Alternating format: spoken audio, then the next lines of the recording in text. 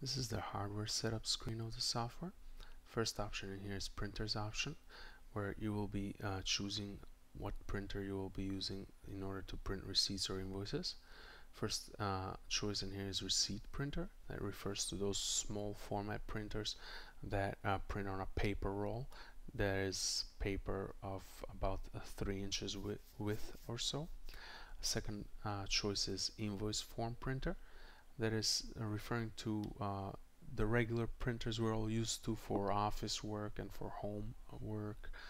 those are the 8.5 uh, by 11 inches size papers or internationally known as the A4 format printers.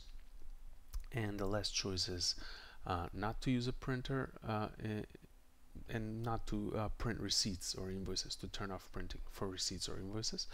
Um, the interesting question we get in here is uh, if there is an option in the software to actually not print uh, invoices or receipts, but then again, when the user of the software changes their mind for a certain uh, circumstance, they tender out and, and a, a, sale, and they change their mind. They want to uh, print a receipt for this particular sale only once in a while uh, is there such an option? And yes uh, you would still select no printer uh, so to turn off printing on regular basis. And when that sale happens that you would like to print out a receipt on the fly for then uh, you just use this uh, option on the main screen that says uh, print last invoice. That's with the F, F3 function key. And it's going to print invoices on the fly even though you have uh, turned off the printing option in here. The next uh, option is barcode format. This is useful if you're using a barcode scanner in order to uh, improve the performance of that barcode scanner. Uh, it's uh, good for our software to know ahead of time what is the common length of uh, the maximum length of the barcodes that you will be scanning and you know you need to know that different industries have different standards but mostly barcodes are uh, 12 characters long or 12 digits. Of course different industries as I said have different standards like uh, ISBN numbers for books have 13 digits. I don't know cell phone industry has its own for a cell phone serial numbers if you have a cell phone store store or something like that. So uh, you just enter that maximum amount of characters that your barcode will be scanning and you'll be improving your barcode performance greatly with that.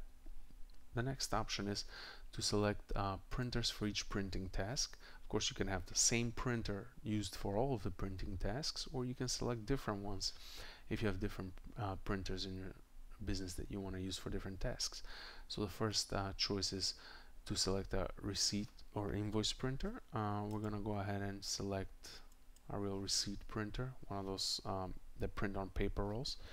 Uh, then the second uh, choice you need to make is for a reports printer, which printer you'll be using to print out reports. We'll go ahead and use HP LaserJet, a standard format, you know, 8.5 by 11 inches paper printer. And the third one is a barcodes printer, in case we print barcodes with this software. Uh, we're going to use the same printer as for reports. The next option is cash drawer and receipt printer settings. Um, this is basically to tell the software if you have a cash drawer or not and if you want our software to control that cash drawer, meaning to open it when needed. Uh, if you don't have a cash drawer, of course, you will select this first option that says no cash drawer. If you do have a cash drawer, we'll select use a cash drawer and we need to tell the software what printer that cash drawer is connected to. Of course, the cash drawer connects with a cable to the printer, to the receipt printer, because the receipt printers are special in the way that they uh, drive the cash drawers. They uh, control the cash drawers. They're the ones actually opening the cash drawers, sending a signal to them. And uh, you need to tell our software which printer will be driving your cash drawer, which printer the cash drawer is connected to. We're going to select our uh, receipt printer in here and the last thing you need to do is to enter the decimal code or hexadecimal code uh, that that particular printer of yours receipt printer uses to actually open that uh, the cash drawers. So uh, you need to look into your printer's technical manual or if you can't find it there then just contact the printer's technical support uh, of the manufacturer of that printer and ask them for the decimal code of that printer that the printer uses for opening cash drawers. I'm going to go ahead and enter the decimal code for this citizen receipt printer that we have in here.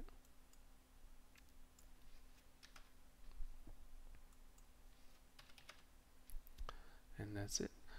Next option is pole display settings. If you're going to use a pole display in your business, uh, of course it needs to be connected to your PC the drivers for it need to be installed. And uh, as far as our software is concerned all you need to do is do two settings in here. First tell our software which port the pole display is connected to. It will usually be COM1 COM2 3 or 4 any of those uh, serial COM ports. Or in some instances uh, it may be a USB uh, port that's emulating a COM port and you'll just select it in here from the drop down menu. Right now on this uh, PC we don't have any pole displays connected to it so it's not giving us nothing. Um, and the second option is you have to tell our software what is the maximum amount of characters it can write per line on that pole display port. Usually that uh, is about 20 characters. It's kind of like a standard but we've seen uh, pole displays they can do more or less. So that's where you enter that value. And the last option in this menu is uh, weight scale settings. If you choose to use a weight scale in your business to weigh things as you sell then you need to of course connect that weight scale to the to your PC to the proper port and uh, install the drivers for it. Now uh, in our software all you need to do is select the port that the weight scale is connected to and this is going to be one of the serial COM ports COM 1 2 3 or 4 port and you'll simply select it in here. Once you're done uh, with all of your selections for this menu all you need to do is click submit changes for the changes to be saved into the database. Then you'll see this window that says that the changes were updated successfully and that the software will simply need to restart in order for the changes to take effect. So as soon as you click OK in here the software will simply restart itself